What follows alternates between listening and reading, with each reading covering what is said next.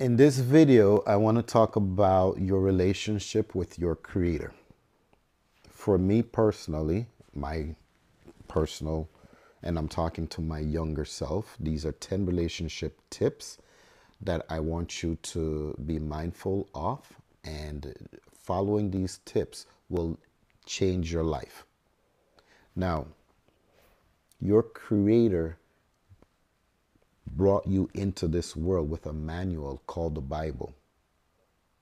It would be a sad thing to meet your creator and don't even recognize your creator. So, regardless of what anybody says, I want you to study the word, the Bible, for yourself. Get to know the creator for yourself. Not what some pastor, some priest, some rabbi preaches. I want you to know it for yourself when you sit down with an individual, spiritual individual, they must be sharing or confirming what you already know in your spirit. Very important. I don't want you, my younger self, to be religious. That is a mechanism that was put in place to control you. I want you to be spiritually enlightened. And no, I'm not talking about the Tower of Babel, what actually means confusion or stairway to heaven. I'm talking about knowing the written word for yourself and having a relationship with that love letter called the Bible. As you learn that, that will help you to understand your vision. I don't want to get all spiritual here or, or but I'm going to quote some scriptures. Habakkuk 2 2. It says, Write the vision and make it plain. Whatever is on your heart, write it down. Understand that when you bring a woman into your life, if she doesn't understand your vision, she can't run with you.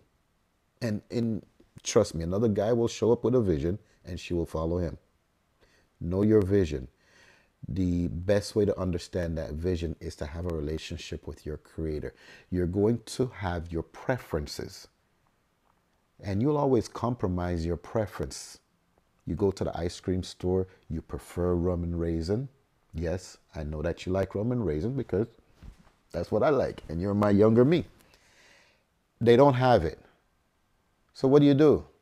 You choose vanilla, you choose strawberry. That's compromising your preference. Now, there's one thing that you should never compromise, and that's your principles. Your values will evolve, your principles are hard coded.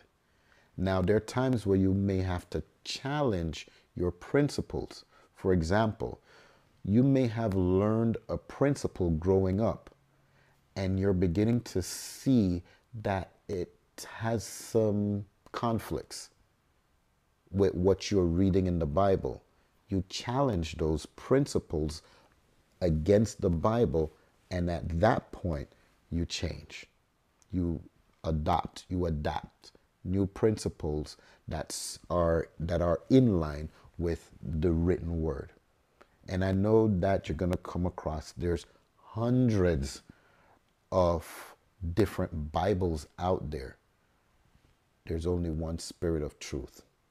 Despite what they tell you that truth is changeable, it's based on the person saying it. No, there's only one truth, bro.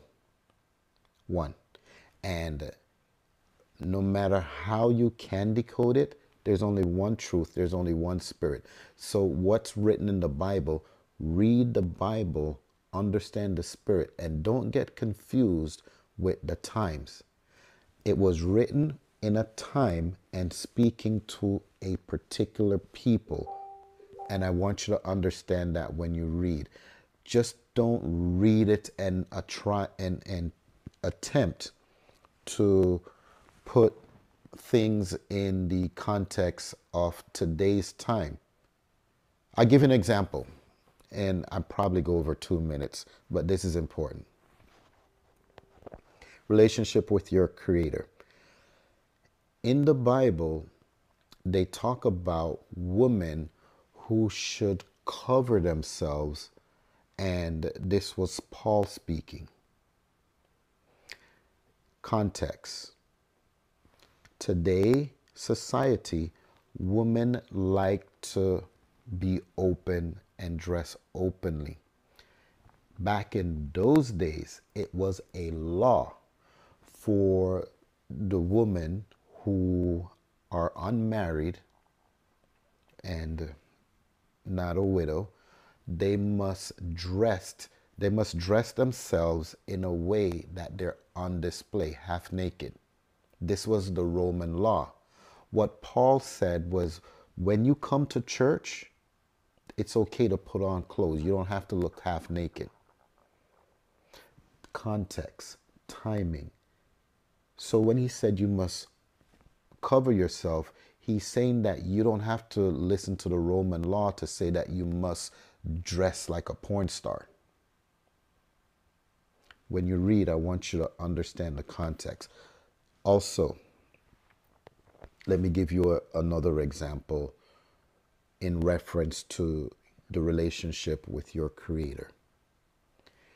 When you study and know for yourself, you develop confidence. This is when you can know that a bill is to be paid. The money isn't there yet, but you know that your relationship with your God is solid. I'll end with this story. I have a friend who is a pilot, and he had a job opportunity to move from the airline where he was there for 19 years. So he had seniority, he had a lot of benefits.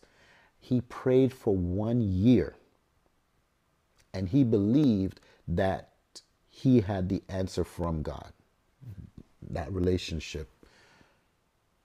When he left, the company that he went to work for went bankrupt. For five months, he had no income.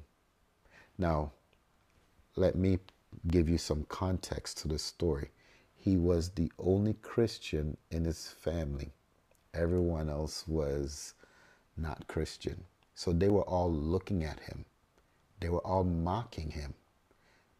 In fact, he himself started to wonder why did I leave this secure position to go work for a bankrupt company? Fast forward, now he's back on his feet. His wife is happy and kids are in their back and he had to move into his parents' house. I asked him this question. If you had to make the decision, would you make the same decision? He said, I wouldn't. And I said, that's the point. God wants you to have a relationship with Him. Trust Him not your circumstances. That will change. I don't want to go into too many analogies. My name is Samuel Robinson, and I want you to have this takeaway. Know you the creator for yourself. Like and subscribe. If you haven't seen the other videos, go back and watch those. And share this information. Give me feedback. Let me know. This video is supposed to be less than two minutes. I'm almost certain that I went over. Sorry.